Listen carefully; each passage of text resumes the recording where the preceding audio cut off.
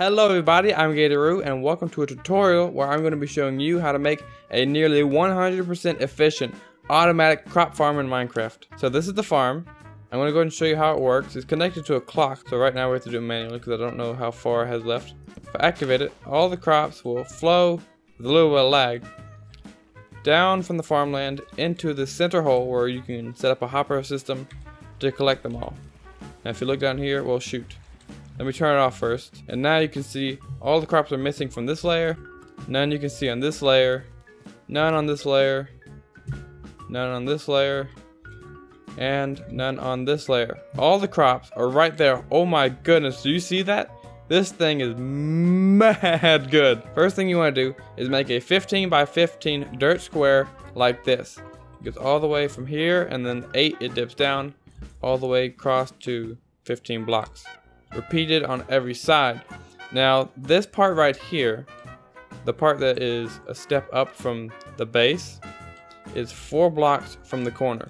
And then you make a diamond shape with that. It's pretty simple if you know how the pattern goes. After that, you're going to want to surround it on the same level as the top level. See right here, the bottom level is there. The top level, you're to surround it with blocks.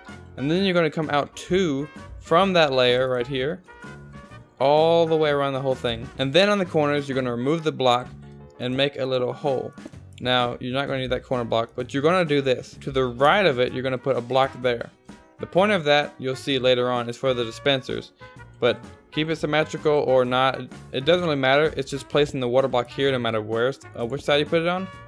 I just prefer to keep it symmetrical by putting on the right side. This is very important too.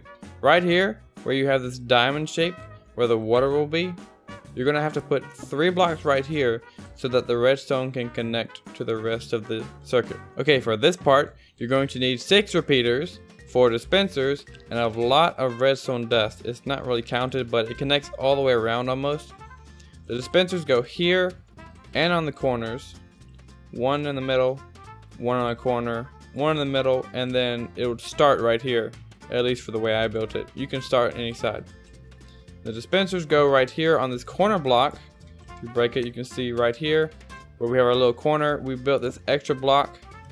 That's so that the redstone dust can come up and connect to the dispenser. Once you've built that and put the water inside of the holes, you're going to need to surround this upper layer of dirt with a block of your choice. Now you can use glass. I prefer if you use glass because if you're on a vanilla server, then the outer crops are going to need it for light. And if you don't use glass, you may need more light sources on the inside. But you will need four glowstone and blocks in glass of choice. Surround all of the edges with the glass, going from each dispenser all the way across, making sure none of the water can flow out. You're gonna go one, two, three, four, and on the fourth one, you put the glowstone. See one, two, three, four. It's in the very center. On all of these, you can see one, two, three, four, centered.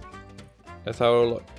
And for the last layer, what you want to do is till your soil and plant your crops, of course, and then place a hopper and chest on the last layer. So as you can see, on the very last layer, the crops will fall down into a hopper, into a chest. You may need more hoppers depending on how big the farm is, because one hopper will not be able to hold all the crops. One more thing, you're going to need a transparent block with a sign underneath each layer of the water in the middle. And it has to be a transparent block so that the crops below this module can grow. If it's not a transparent block, they will not grow. So I decided to build it from scratch for you guys so you can see how I do it. So that's what you're watching right now. I do mess up on the dirt square by accident, but I end up fixing it in the end, so don't worry. I end up making it correctly, and that's how you should make it.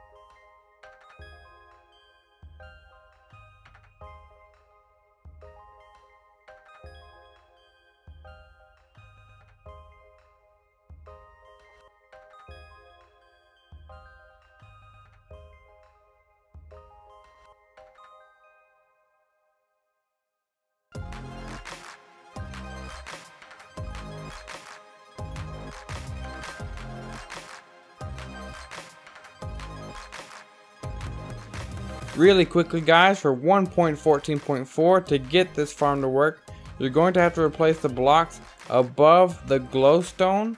So if you go down here, you can see that the glowstone has the blocks below it and above it. This is a half slab that is waterlogged. In 1.14 you can waterlog blocks. So you have to put water here and waterlog it and replace the water in the very center.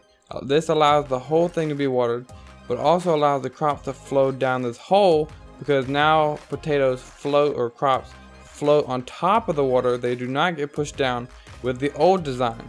So the only difference is there are signs going all the way down from the bottom to the top and there are slabs here above the glowstone blocks with water. So you can no longer plant crops on these four, but you can now use this design in your 1.14.4 and above worlds. That's it for this tutorial guys. I hope you guys did enjoy it.